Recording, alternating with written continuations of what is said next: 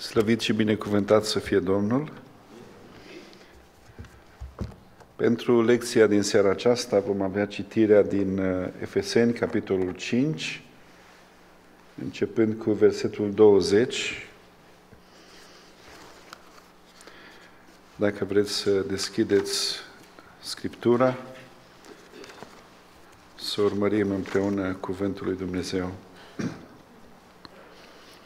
Ne aflăm în această seară în studiul nostru pentru familie. Ciclul se numește Modelul Trinitar al familiei. Suntem la partea a doua a acestui ciclu și în această parte a doua vorbim uh, specific despre nevoile soților, despre nevoile soției, nevoile soțului, nevoile familiei. Supuneți-vă unii altora în frica lui Hristos. Nevestelor, fiți supuse bărbaților voștri ca Domnului. Căci bărbatul este capul nevestei, după cum și Hristos este capul bisericii, El, mântuitorul trupului. Și după cum biserica este supusă lui Hristos, tot așa și nevestele să fie supuse bărbaților lor în toate lucrurile. Bărbaților, iubiți-vă nevestele cum a iubit și Hristos biserica și s-a dat pe sine pentru ea, ca să o sfințească după ce a curățit-o prin botezul cu apă, prin cuvânt, ca să înfățișeze înaintea lui această biserică slăvită, fără pată, fără zbârcitură sau altceva de felul acesta, ci sfântă și fără prihană. Tot așa trebuie să-și iubească și bărbații nevestele ca pe trupurile lor. Cine își iubește nevasta, se iubește pe sine însuși, căci nimeni nu și-a urât vreodată trupul lui, ci îl hrănește, îl îngrijește cu drag, ca și Hristos biserica. Pentru că noi suntem mădulare ale trupului Lui și carne din carnea Lui și os din oasele Lui. De aceea va lăsa omul pe tatăl său și pe mama sa și se va lipi de nevastă sa și cei doi vor fi un singur trup. Taina aceasta este mare, vorbesc despre Hristos și despre biserică. Încolo fiecare din voi să-și iubească nevasta ca pe sine și nevasta să se teamă de bărbat. Amin.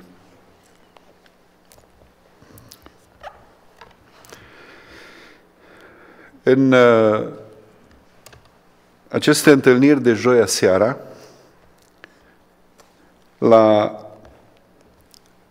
acest ciclu de studiu și în partea aceasta a doua, am angajat o metaforă, am angajat o imagine cu care am socotit că vom lucra mult mai ușor, mai simplu și ce v-am sugerat, ce v-am propus este să ne imaginăm planta, să ne imaginăm floarea, să ne imaginăm, um, știu eu, chiar un copac și să ne gândim la nevoile care le are o floare sau un copac, o plantă, pentru a crește.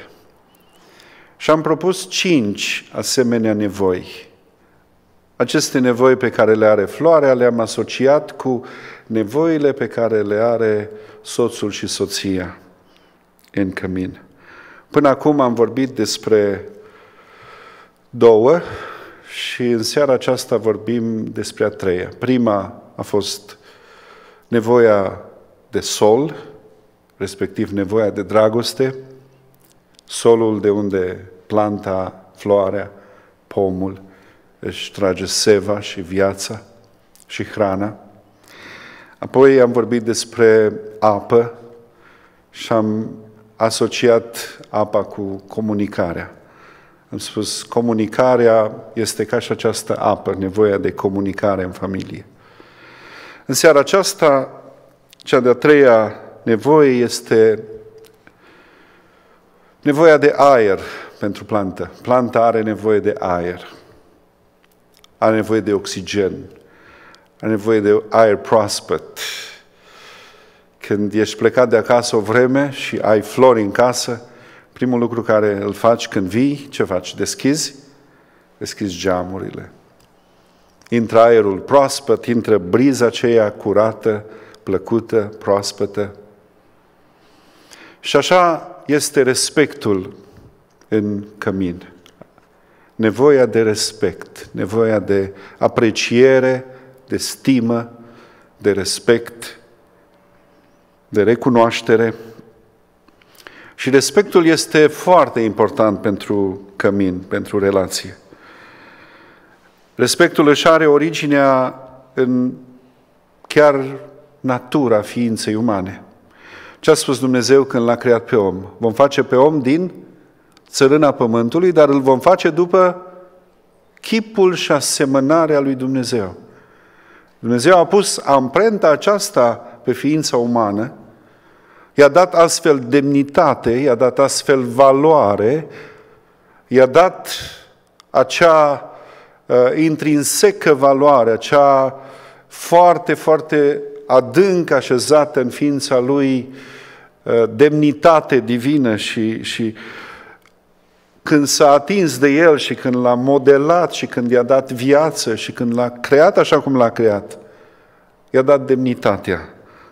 Demnitatea de creatură a lui Dumnezeu, demnitatea de copil al lui Dumnezeu, demnitatea de om pus de Dumnezeu, cum spunem noi de multe ori în cuvântări, în predici, omul este această coroană a creațiunii lui Dumnezeu. I-a dat această demnitate Dumnezeu la creație și, așa cum am vorbit în alte întâlniri și în acest lung drum al studiului pentru familie, știm ce a făcut păcatul și cum a distrus păcatul, demnitatea aceasta și relația aceasta cu Dumnezeu.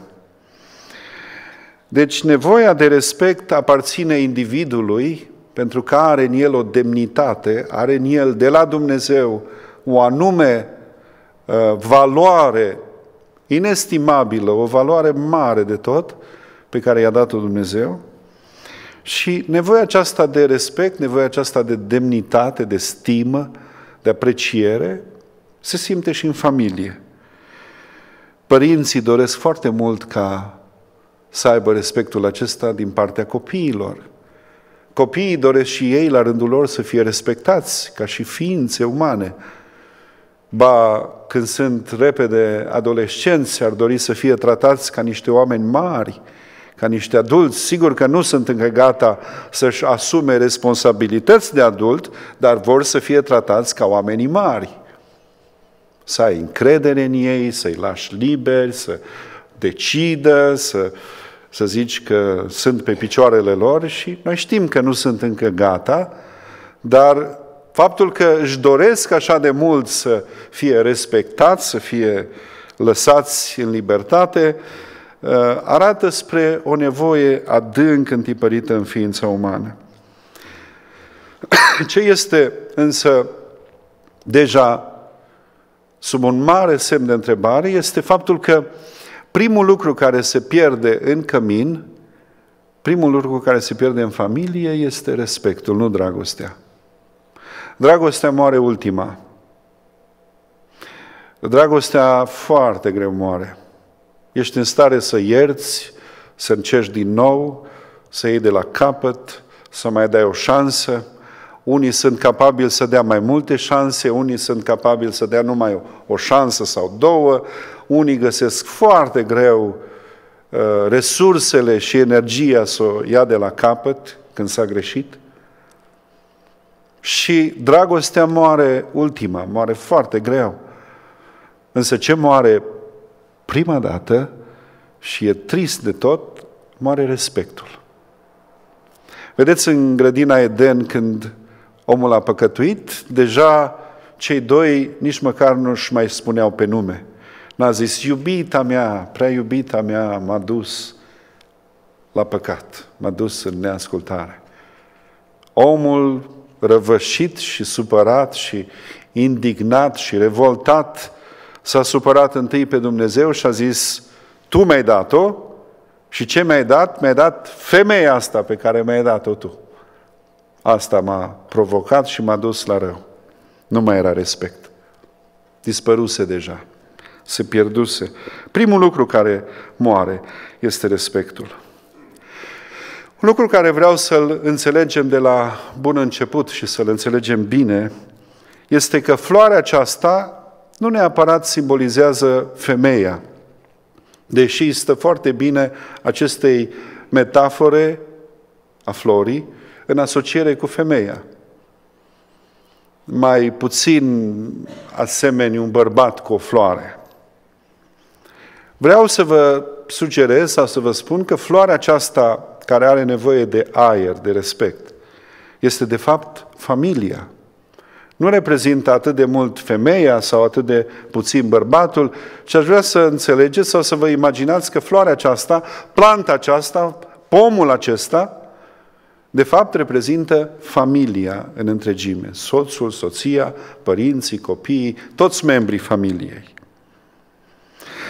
Sigur că la bărbat uh, regăsim uh, în, în, în istoria lui și în comportamentul lui, găsim urmele acelea de care v-am mai spus, urme oarecum ne uh, șlefuite sau, dacă vreți, ne um, îmblânzite. Da, el este făcut din pământul ăla roșu, din, este făcut și spune Genesa 2, versetele 7 la 8, că a fost făcut din țărâna pământului și apoi Dumnezeu a sădit o grădină și l-a așezat pe om acolo. El a fost făcut afară din grădină, a fost făcut din pământ și în apucăturile lui și în felul lui de a fi este ceva mai rough, mai, mai uh, neostoit, mai, mai neîmblânzit, mai sălbatic, dacă se poate chiar spune cuvântul ăsta. Și surorile o să fie aproape de acord cu mine. Um, Femeia însă a fost creată în grădină și n-a fost făcută din pământ, a fost luată de la inimă, să presupunem că această coastă a fost o coastă posibil foarte aproape de inimă și ea mai degrabă poate fi asociată cu această floare, o floare care așteaptă să fie descoperită, să fie găsită, să fie cucerită. Și Vă aduc în atenție un text foarte interesant din Cântarea Cântărilor 8, versetele 8 și 9, în care se spune un lucru foarte interesant despre uh, femeie și despre uh, femeia tânără sau femeia chiar înainte de căsătorie. Și aici e mai mult o discuție între frați și între membrii familiei. Avem o soră micuță ce vom face cu sora noastră când vor veni pețitorii?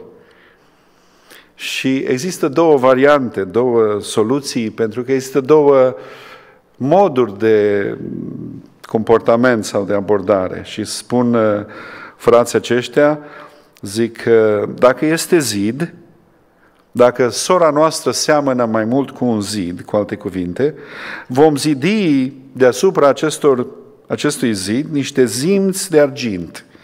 Cu alte cuvinte, dacă natura ei sau felul ei de a fi, temperamentul ei este mai introvertit, totuși pe zidul acesta uh, vom zidi niște zimți de argint și îl vom face ca zidul acesta să fie foarte atractiv și foarte um, fascinant pentru pețitor și pentru cei care se uită la o fată care este Uh, mai detașată, mai distantă, mai retrasă, mai reținută la cuvinte. E temperamentul ei așa, mai introvertit. Și membrii familiei spun, pe zidul ăsta o să zidim niște zimți de argint. Să nu fie ușor de trecut zidul, dar să nu fie fără valoare. Cine se uită la el să vadă valoare, să aprecieze. Dar mai este o variantă, spune ei. Dacă este ușă, se poate să fie ușă, adică să fie o fată uh, foarte deschisă, foarte îndrăzneață și chiar periculos de curajoasă în a, a angaja discuții sau a intra într-o uh, discuție, într-un dialog și uh, sinceră și cu gânduri bune, dar de multe ori să dea impresia că um, poate este puțin disperată sau este puțin, uh, știu eu, neliniștită în așteptarea ei din grădină. Și frații, membrii familiei spun, dacă este ușă, are acest temperament extrovertit, extroverted, o să avem grijă să o închidem cu un lemn de cedru.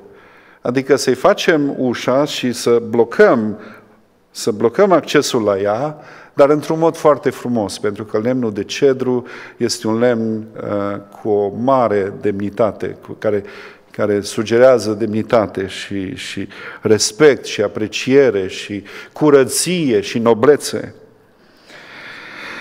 Uh, sigur că ea este mai degrabă, spuneam, această floare din grădină care așteaptă să fie uh, descoperită. Într-o versiune romantică, într-o versiune românească romantică, dacă vreți, avem un uh, poet din anii 1700, a trăit în 1740-1797, uh, frații Văcărești, dacă vă mai întiți de la literatură, pe acesta îl chema Ienechiță Văcărescu și are o poezioară din asta de, de turnură și de, um, știu eu, de formă aproape de poezie populară. Și uite cum zice el, zice, într-o grădină, lângă o tulpină, zări o floare ca o sulfină. S-o tai, se strică. S-o las, mi-e frică că vine altul și mi-o ridică. Cu alte cuvinte, spune el în uh, povestea îndrăgostitului, fiecare are floarea lui, fiecare trebuie să-și găsească floarea lui. Secretul este însă că soluția nu este să o tai. Soluția este că această floare, care de fapt eu v-am spus de la bun început că e familia, nu e atât femeia sau bărbatul sau vreun membru a familiei, ci este familia în sine – această floare nu trebuie tăiată, această floare trebuie îngrijită, trebuie, trebuie crescută, trebuie cultivată, trebuie curățită, trebuie să-i dai sol, un pământ afânat, un pământ bine săpat, bine lucrat, să-i dai apă la timp, să-i dai aer, să deschizi geamurile bine de tot și să asiguri respectul și demnitatea și aprecierea în, în familia ta. Așa că această floare Uh, vă propun să ne uităm la ea ca la familie în sine. Um, amândoi, să știți, și bărbatul și femeia au nevoie de respect. Unii mizează mult pe și bat monedă foarte mult că bărbatul este cel care uh, are o, o imperioasă și o acută nevoie de respect. Trebuie să, bărbatul trebuie respectat și uh, unii interpretează greșit nota apostolului Pavel, femeia să se teamă de bărbat, cu alte cuvinte, să, să-l respecte, să uh, tacă înaintea lui, să-i execute ordinele, să, dorințele ei și așa trebuie să țină de dorințele lui și uh, privesc uh, asta într-un mod foarte dur și într-un spirit spartan, într-un spirit din acesta uh, legalist și impus. E vorba aici de respect și e vorba aici de nevoia amândorora. Amândoi au această nevoie de respect. Poate că își exprimă nevoia diferit, dar amândoi au această nevoie de respect. Și bărbatul simte nevoia să fie respectat și femeia simte nevoia să fie respectată. Amândoi au același, aceeași nevoie. 1 Corinteni 11 cu 7. Bărbatul este chipul și slava lui Dumnezeu, pe când o femeie este slava bărbatului, spune Sfântul Apostol Pavel. Proverbe 12 cu 4. Femeia cinstită este, o, este cununa bărbatului ei, dar cea care îi face rușine este ca putregaiul în oasele lui. Ba, Sfântul Petru care iarăși știm că este un sanguin și un, un, uh, un foarte îndrăzneț în personalitate și în temperament și în felul de a fi, iată ce cuvinte găsește el. 1 um, Petru 3 cu 7, prima parte. Zice, dând cinste femeii ca unui vas mai slab. Un, vers care, un verset care mai puțin e cunoscut uh, și în atenția bărbaților. Pentru că nu există diferență de valoare, nu există diferență de calitate, nu există diferență în puterea de a iubi sau puterea de sacrificiu, mai mult la femeie sau mai puțin la bărbat, mai mult la bărbat sau mai puțin la femeie. Ce spune aici Sfântul Petru este uh, vasul mai slab, înseamnă vasul mai sensibil, mai delicat. Și spune ca unele care vor moșteni împreună cu voi harul vieții. Și apoi pune o condiție teribil de grea, care verifică relația noastră pe verticală cu Dumnezeu. Și zice, aveți grijă că dacă nu sunteți în ordine, pe orizontală, nu puteți merge la Dumnezeu și să vă lăsați familia baltă, să vă lăsați relația cu soția distrusă și nerezolvată, dar să mergeți la Dumnezeu și să faceți pe grozavi, cât de grozavi bărbați sunteți voi, cât de credincioși sunteți, sau cât de credincioase sunteți voi femeile și acasă cu bărbații voștri sunteți certate, sunteți într-o relație distrusă. Aici spune foarte clar Sfântul Petru, dacă această relație e frumoasă, dacă această frum- relație este de respect, de dragoste, de apreciere, de îngrijire, de cinstire, atunci rugăciunile voastre nu vor fi împiedicate. Vă rog să puneți la inimă și să punem la inimă uh, acest mod de abordare care este foarte, foarte serios și, și corect. Ba, în textul care l-am citit, Efesen 5, spune că bărbatul are misiunea aceasta de a se uita la Hristos și a vedea că în Domnul Isus Hristos există o continuă dorință de a lua mireasa lui, biserica lui, și a o prezenta înaintea Tatălui. Și știți cum vrea să o prezinte? Frumoasă, curată, fără pată, fără niciun fel de, de lucru negativ, niciun fel de zbârcitură, spune traducerea veche a lui Cornilescu. Uh, și de ce folosește Pavel lucrul ăsta? Pentru că spune, învățați de la Hristos. Faceți și voi ca și Hristos. Um, prezentați-vă soțiile voastre, prezentați-vă uh, partenerul vostru de viață înaintea lui Dumnezeu cu această atitudine. Faceți eforturi, lucrați la aceasta. Pregătiți-vă pentru aceasta. Um, cu alte cuvinte, trebuie să o vezi sau să-l vezi cum îl vede Dumnezeu.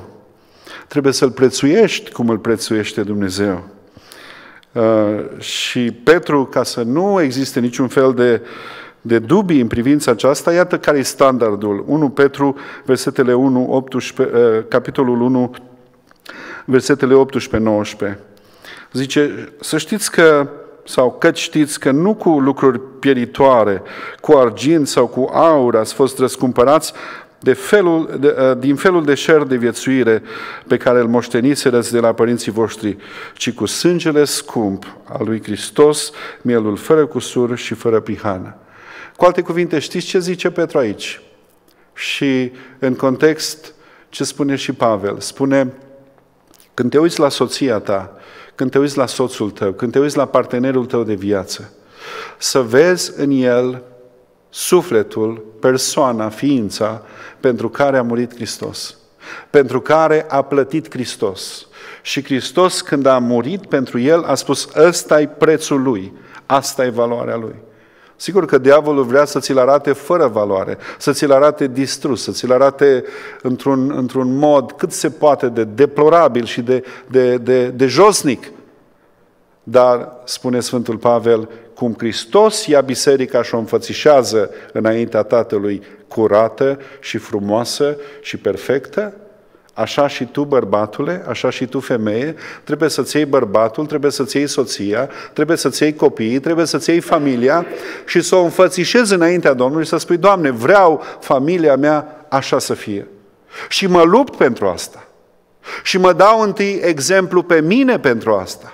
Și mă curățesc întâi pe mine și apoi lupt pentru această curăție, pentru această dragoste, pentru acest respect, pentru această comunicare frumoasă. Deci trebuie muncă pentru asta. Există valoarea de creație și există valoarea de răscumpărare. Valoarea de creație, v-am spus la început, ne-a dat-o când a spus îl creăm pe om, îl facem pe om, după chipul și asemănarea lui Dumnezeu. A pus pe el amprenta divină chipul lui Dumnezeu.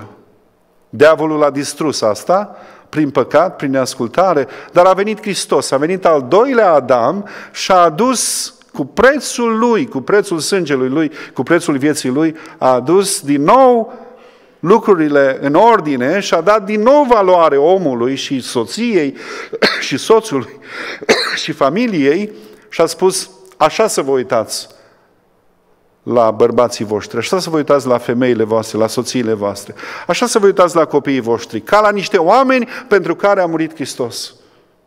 Să-i prețuiți, să-i iubiți, să-i respectați, să-i, să-i uh, cinstiți, să-i tratați cu demnitate.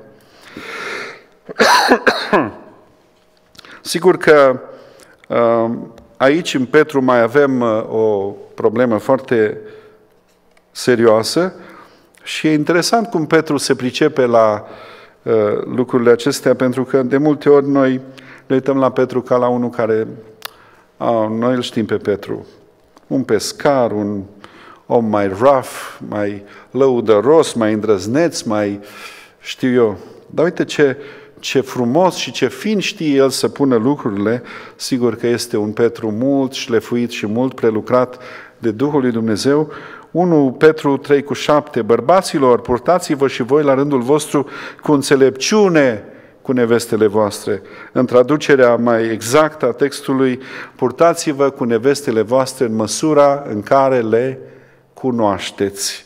În măsura în care le cunoașteți. Și această cunoaștere această comunicare, această intimitate, această apropiere, această disponibilitate de a fi onest, de a fi transparent, de a fi chiar vulnerabil, e o condiție pe care ți-o pune Dumnezeu, că nimeni nu te poate cunoaște mai bine decât Dumnezeu și partenerul tău de viață. Sigur, mai bine ca soțul tău te cunoaște Dumnezeu. Mai bine ca soția ta te cunoaște Dumnezeu.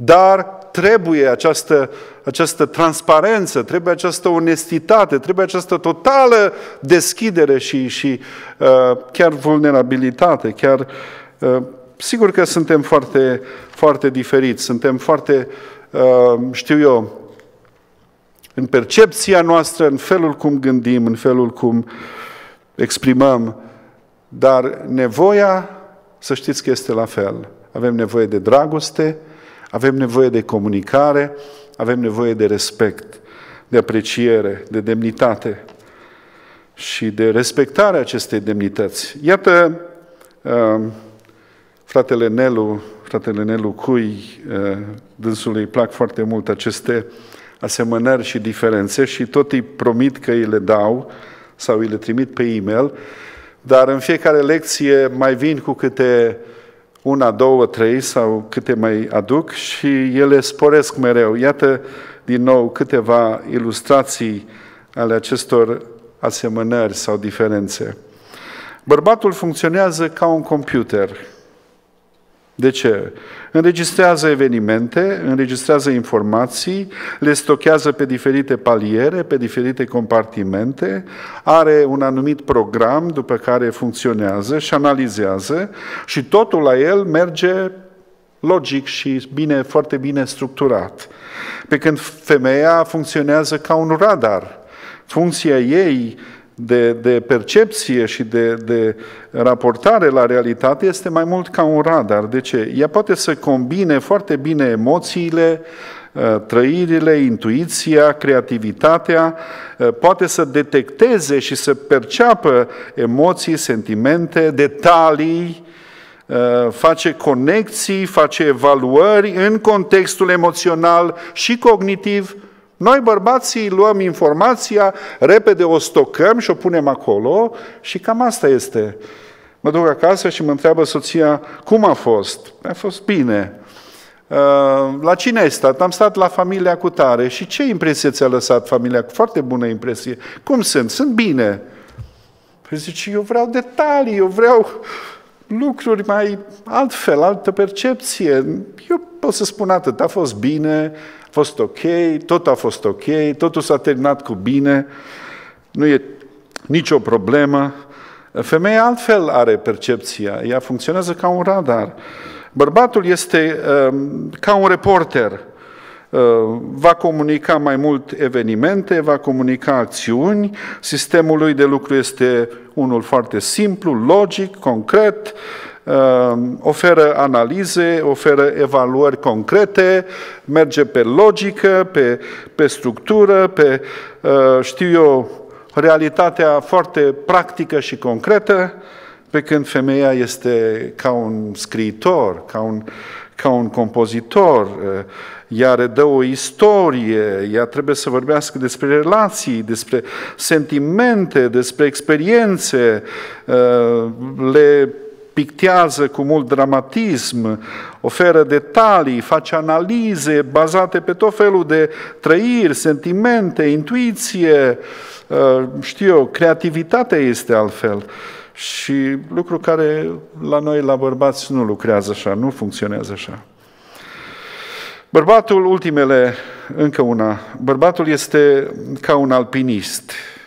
El este un luptător, este un om cu obiective clare, trebuie să aibă foarte precis ținta pe care trebuie să o atingă, uh, are această, acest comportament, această imagine a unui alpinist dorește să ajungă în vârful muntelui, dorește să cucerească, să rezolve o problemă, să, să știe ca uh, fost omul care a rezolvat problema. Nu, pentru el nu există altă versiune și altă opțiune. Și odată ce și-a stabilit traseul și obiectivul, uh, toate celelalte detalii și alte elemente de, căl- de călătorie sunt pe planul 2, sunt de mai puțină importanță. Femeia, în privința asta este uh, ca un pelerin, ca un călător care uh, pe ea o fascinează drumul, o fascinează experiența călătoriei, uh, mai ales din punct de vedere emoțional, sentimental, e preocupată de detalii, tot procesul de călătorie o interesează. La noi, la bărbați, este foarte simplu, este foarte clar, noi trebuie să avem obiectivul bine stabilit și ne-am pornit la țintă și nu ne lăsăm până când obținem și atingem ținta aceea. Uh, e un text foarte frumos în Proverbe 31. Proverbe 31 uh,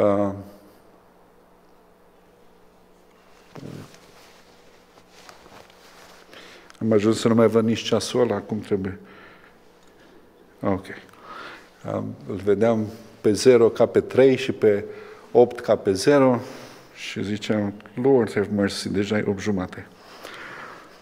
But we still have a few minutes.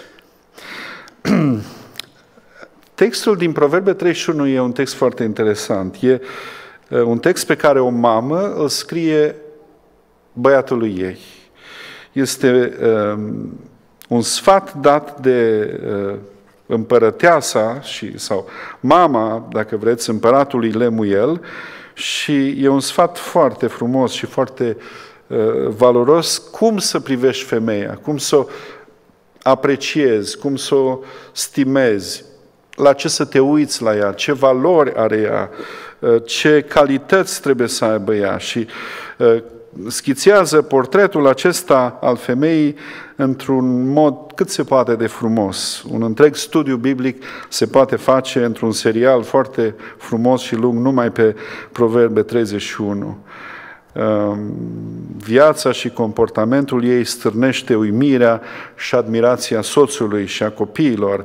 31 cu 10 spune eh, capitolul acesta că o femeie cinstită este mai de preț decât mărgăritarele, mai de preț decât mărgăritarele. Sigur că o să ziceți, uh, dumneavoastră ca și femei, ceva de genul ăsta. O să ziceți, păi, pe bărbatul meu, dacă îl laud bine, după aia obțin de la el ce vreau. sau îl laud, îi spun că e cel mai bun, că e cel mai valoros, că e cel mai deștept, că e cel mai capabil și um, după aceea o să um, obțin și o să realizez cât se poate de interesante lucruri. Așa este, pentru că, într-un fel, pentru că bărbatul respectat și apreciat, să știți că are altă energie de viață, altă energie de muncă, altă, alt, alt curaj de viață. Da? În momentul când simte aerul ăla proaspăt, intri în casă și simți aerul ăla proaspăt, pentru că soția nu te întâmpină cu lista de lucruri negative. Iar ai venit târziu, iară vii la ora asta, iară cu bani puțini, iară n-ai adus ce trebuie, iară te-am trimis să cumperi și n-ai venit. Am zis, am zis uh, usturoi și ai adus ceapă. Atâta nu poți, atâta nu ești în stare. Toată tirada, toată lista de lucruri negative, deja uh, pe el l-a, l-a, l-a făcut gata, l-a, l-a terminat. So, uh, să știți că soția e cel mai important personaj în galeria suporterilor. Eram odată în Germania la o conferință cu un um, pastor din, din Corea, cu Yonggi Cho și în fața la, la mii de oameni acolo, Yonggi Cho a spus o ilustrație și a zis când termin slujba și când termin predica, vin oameni din biserică și îmi spun ce bine am predicat, ce mesaj grozav, ce binecuvântat, ce frumos a fost. Și zice, e ok, zice, e ok, dar e așa, zice, ca și guma de mestecat. O mesteci cât o mesteci, după aceea își pierde gustul. Zice, mă duc acasă și umblu după nevastă mea și tot aștept să-mi spună cum a fost, să, să, să-și dea ea părerea, pentru că tot ce spune ea la alți comparat cu ce spune ea, nu are atâta valoare, pentru că ce spune ea spune altfel. Spune ca omul care chiar îi pasă de tine. Dacă îți faci o observație, dacă îți faci o, o știu eu, o, un compliment sau îți spune, uite, aici a fost bine sau asta n-a fost chiar așa bine, uh, tu știi că ea chiar vorbește din dragoste și îi pasă de tine și uh, Ehm, dorește foarte mult să te ajute. Există însă și stilul de manipulare a femeii prin care zice, bun, îl laud ca să-l manipulez și să obțin de la el ce vreau. Acest fel de laudă este distrugător. Iată două exemple. Un împărat, capitolul 21, Izabela se duce la Ahab și îi spune, zice, nu ești tu împărat, nu ești tu bărbat, nu ești tu în stare să rezolvi problema. Ba, uite că o să o rezolvăm, îți promit că o rezolvăm, da? Uh, scrie scrisori în numele lui, le sigilează cu sigiliul lui și pune la cale o crimă și, și un, un, un fapt odios și moartea uh, lui Nabot. Izabela este totdeauna uh, simbolul manipulării și a, și a dominației uh, uh, izabelice care manipulează. La fel a făcut și o altă femeie în Persia, o femeie care a vrut să îl stârnească pe soțul ei și i-a zis soția lui, lui Haman, uh, i-a zis Zereș o chema, i-a zis, știi ce, Uh, pe tine te stimează împăratul, pe tine te apreciază, tu ești cel mai iubit, cel mai stimat și uh, la Mardoheu ăsta trebuie să-i punem capăt și te sfătuiesc să faci așa și așa și să construiești o, o spânzurătoare și să-i pui capăt acestui Mardoheu, acestui evreu și la tot neamul lor. Uh, Estera, capitolul 5. Și noi știm din istoria biblică tocmai această spânzurătoare a servit ca loc de execuție pentru, uh, pentru Haman, pentru cel care a făcut-o. Soția, să știți, trebuie să vadă cel mai bine ungerea ta de profet, ungerea ta de preot, ungerea ta de lider, în, în cămin, în familie, să vadă autoritatea divină care a pus-o Dumnezeu peste tine. Și să știți ceva, fraților, uh, dacă bărbatul este supus lui Hristos, o femeie se supune foarte ușor și foarte cu drag, o femeie credincioasă, să mă înțelegeți. femeie credincioasă se supune cu mult drag și cu multă bucurie și cu multă siguranță uh, unui bărbat care este supus lui Hristos. Deci dacă vreți ca soțiile noastre să fie supuse, ascultătoare și uh, să vă cinstească, să vă respecte, să, să vă aprecieze, să vadă demnitatea care este în dumneavoastră, nu rămâne decât să ne supunem sub mâna tare a lui Dumnezeu, să ne smerim sub autoritatea lui Hristos și să fim oamenii de care Dumnezeu se folosește. Să fim în casele noastre preoți, să fim în casele noastre conducători, să fim în casele noastre profeți, să aducem prezența lui Dumnezeu, să conducem familia în voia lui Dumnezeu, să asigurăm protecție, să asigurăm dragoste, să asigurăm florii noastre, care este familia, să asigurăm și solul, și apa, dar mai ales și aerul, care este atât de important. Două exemple din Vechiul Testament. Sara, cum l-a numit pe soțul ei. Și uh, Domnul folosește exemplul acesta și Petru de asemenea angajează exemplul acesta. Genesa 18 îi spune, uh, Domnul meu, când vin uh, musafirii și anunță vestea nașterii copilului, Sara are 90 de ani, Avram are 100 de ani, 25 de ani în waiting, deja eșec total cu Ismael, de acum era cam complicat pentru Sara. Și zice, domnul meu, bărbatul de asemenea este bătrân, Genesa 18 cu 12. Ehm, sigur că râsul ei și îndoiala ei și totuși nu i-a știrbit respectul și aprecierea față de soț. Și ea obișnuia să-i spună soțului ei, Domnul meu. Așa îl numea Sara pe Avram, Domnul meu, Domnul meu. Și să știți că ceasul ei biologic, o femeie care își respectă soțul, ceasul ei biologic, sănătatea ei fizică, fiziologic funcționând, ea funcționează mai bine. Așa, la 90 de ani, în atmosfera aceea de respect, de, de apreciere, de stimă, de așteptare, cu toate neliniștile și întrebările, dar la 90 de ani Dumnezeu a făcut-o în stare să, să nască. Și, um, în schimb, avem un alt caz în 2 Samuel, capitolul 6, 20, 23, versetele, când uh, împăratul David aduce chivotul la Ierusalim uh, cu multă bucurie, cu pasiune, dansează în fața chivotului, pasiunea lui pentru închinare este de acum mult cunoscută nouă, cu psalmi și cu tot, și soția lui l-a batjocorit și l-a disprețuit. Te-ai purtat ca un om de nimic, spune ea. Te-ai purtat ca un om de nimic. L-a disprețuit, l-a nesocotit, l-a făcut să se simtă umilit și batjocorit. Nu i-a apreciat pasiunea lui pentru Dumnezeu și pentru închinare. Și să știți că ceasul ei biologic a fost afectat. Mical n-a putut să nască.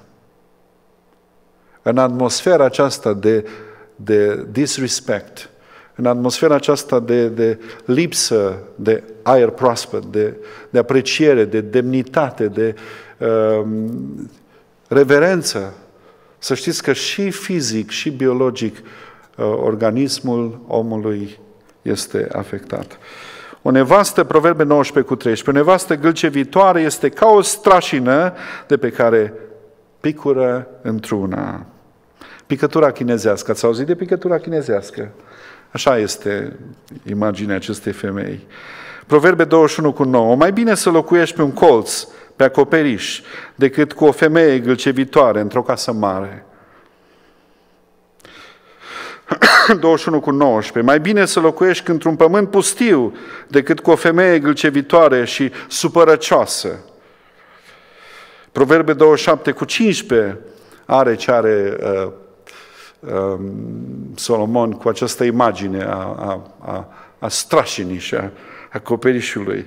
O strașină care picură necurmat într-o zi de ploaie și o nevastă gălcevitoare este tot una. Este tot una. Pic, pic, pic, pic și nu mai tace. Și nu mai poate tăcea. Și nu mai tace. Și nu mai tace. Și nu mai tace. Metoda de tortură cu picătura chinezească, să știți că se prea poate să fi fost uh, inspirată din această imagine. Tot Solomon 19 cu 22 zice uh, ceea ce de farmecul unui om este bunătatea lui. Ce mare lucru e să fii bun, să fii iubitor, să fii respectos, să fii atent, Coloseni 3, 12, 14. Astfel, dar, ca niște aleși al lui Dumnezeu, sfinți și prea iubiți, și aici e vorba și de bărbați și de femei, îmbrăcați-vă cu o inimă plină de, de îndurare, cu blândețe, cu bunătate, cu smerenie, cu blândețe, cu îndelungă răbdare, îngăduiți-vă unii pe alții, și dacă unul are pricină să se plângă de altul, asta se întâmplă în familie, fantastic și foarte des, iertați-vă unul pe altul. Cum v-a iertat Hristos, așa iertați-vă și voi. Dar mai presus de toate acestea, îmbrăcați-vă cu dragostea, care este legătura de săvârșirii. Ca și cum ai zice, nu umbla dezbrăcat. Nu umbla, nu umbla fără această haină a dragostei. 1 Timotei 12, 2, uh, uh, scuze, 1 Timotei 2, 9 și 10. Femeia să se roage îmbrăcată în chip cuvincios, cu rușine și sfială, nu cu împletituri de păr, nici cu aur, nici cu mărgăritare, nici cu haine scumpe, ci cu fapte bune, cum se cuvine femeilor care spun că sunt evlavioase. Știți, evlavia aceasta aduce așa în familie o aromă, o, o, o atmosferă, o trăire cu Dumnezeu și impune respect. Respectul nu poate fi, să știți, pretins, nu poți să cer cuiva, trebuie să mă respecti. Nu. Respectul se câștigă. Și mai, mai mult, respectul se oferă. Dacă oferi respect, o să primești respect. Dacă într-adevăr tu respecti, și iubești și, și arăți demnitatea și, și respectul față de soțul tău, față de soția ta, chiar dacă poate nu imediat se întâmplă, dar o să vezi. Până la urmă, asta primești înapoi. Asta o să ți, o să ți se întoarcă. Uh, Iarăși Petru, 1 Petru 3, versetele 3-4. Podoaba voastră să nu fie podoaba de afară, care stă în împletitura părului, nici în purtarea de podoabe, de aur sau în îmbrăcarea hainelor, ci să fie omul ascuns al inimii. Bunătatea, ce de farmecul unui om, ce de farmecul unei femei, este omul ascuns al inimii, în curăția nepieritoare a unui duh blând și liniștit, care este de mare preț înaintea lui Dumnezeu. Adică Dumnezeu îi dă mult preț la o asemenea trăire și un asemenea caracter. Um, Proverbe 20, versetul 6 și 7. Mulți oameni își trâmbițează bunătatea, dar cine poate găsi un om credincios, de data asta e om credincios, fie că e bărbat, fie că e femeie, cine poate să-l găsească? Cel neprihănit umblă în neprihănirea lui. Ferice, și aici vine lovitura de grație. Ferice de copiii lui după el. Știți ceva? Dacă nu ne respectăm unii pe alții în cămin, cei care suferă cel mai tare sunt copiii noștri. Copiii care trăiesc într-un mediu din acesta de, de, de batjocură, de, de vorbe urâte, de vorbe aruncate, de jigniri, de lipsă de respect. Copiii care trăiesc într-o asemenea atmosferă sunt copii foarte vulnerabili și foarte uh, nepregătiți pentru viață. Și vor merge în viață cu carența asta, cu problema asta, o să o ducă cu ei. Se căsătoresc la rândul lor și nu știu să respecte pentru că n-au învățat să respecte. N-au învățat de la tata și de la mama. Dar dacă ei văd la tata și la mama Uh, limbaj frumos, atitudine frumoasă, respect, apreciere, discuție uh, curată și chiar dacă sunt, uh, spuneam și data trecută, chiar dacă sunt, uh, știu eu, momente de dezacord, uh, doesn't need to be a, a dirty fight. Poate să fie un clean fight, un, un, un, un, o de, un dezacord pe principii. Nu ataci persoana. Un dirty fight, un, o luptă murdară, este când ataci persoana. În momentul când auzi tu totdeauna, tu niciodată, tu ești ca maică ta și ca taică tot, tu asta, mai bine nu te cunoșteam. În momentul ăla ai atacat persoana, n-ai atacat problema. Trebuie să ai respect, să, ai, să avem respect, să avem uh, apreciere. Și copiii, să știți, ne vor copia. Hm. Uh, nu vă... Uh, am să vă spun ceva. Nu știu dacă fratele Lazar o să fie de acord cu mine sau alți păstori o să fie de acord cu mine. Dar să știți că cel puțin din experiența mea pastorală am putut învăța asta. Câteodată treci pe lângă un copil, șapte ani, zece ani, 12 ani, și ați văzut ce frumos și fratele Lazar este foarte bun prieten cu copiii și ca și păstor vrei să te împrietenești cu copiii, vrei să te împrietenești cu bătrânii, cu toți, să fii bun prieten și deschis și cald și primitor. Dar câteodată vezi că un copil trece pe lângă tine, îl strigi, vrei să îl bagi în seamă, vrei să dai mâna cu el, el se uită așa urât la tine și te uiți la el, are șapte ani, are 10 ani, are 12 ani și zici, eu fi făcut ceva la copilul ăsta, o fi, o fi ceva. Vă spun eu ce este. Posibil. Nu e 100%, dar e 99%. În familia aceea se vorbește rău de păstor. În familia aceea păstorul e criticat, e vorbit de rău și atunci copilul, știți ce face? Simplu, copiază. Copiază. Asta face copilul. Pentru că el acolo pe banca din spate în mașină, tu zici că el e copil mic și el e cu căștile pe urechi și ascultă muzica lui sau are video game sau nu știu ce. Sau e prea mic să priceapă. Și tu în față, în drum spre biserică sau în drum de la biserică, deja pe păstor sau pe păstori sau pe lucrători, îi critici și îi faci în toate felurile. Și să știi că cei care se îmbolnăvesc cel mai tare sunt copiii. Copiii din acea familie. Ce trist este. Închei, închei cu un exemplu tulburător de frumos, dar dramatic și trist. Când Izabela i-a zis lui Ahab, Ahab, nu te necăji, nu te supăra, uite, îți rezolvi o problemă. Fii bărbat, mă, nu fii muiere. Ah. Rezolvăm problema. De fapt, era un foarte mare pariu pe o vie, pe via lui Nabot. Și discuția a fost foarte clară cu Nabot. Uh, un împărat 21 cu 3 a zis Nabot, Nabot, știi ceva? Um, îți dau altă vie mai bună. Pe cine nu vrea să facă un deal cu împăratul, nu? Nu cu oricine faci un deal, faci un târg, faci cu împăratul. Cum se poate refuza așa ceva? Și împăratul îți oferă o vie mai bună. Sau zice el, dacă nu-ți convine unde îți dau, măcar că e mai bună decât care o ai tu, ți-o plătesc. Îți dau cât vrei tu, în argint, îți dau în aur, îți dau în valori. Eu vreau să fac din ea o grădină de trufandale, o grădină de zarzavaturi. Știți ce sunt trufandalele? Sunt lucruri de sezon, care nu țin mult, țin o, un sezon. După aia trece vremea porodicilor de felul ăsta. Vin porodicile de alt fel. Așa a vrut el, un, un, să facă din grădina lui, lui Nabot, din via lui Nabot, o grădină de zarzavaturi. Știți care a fost singurul argument al lui Nabot?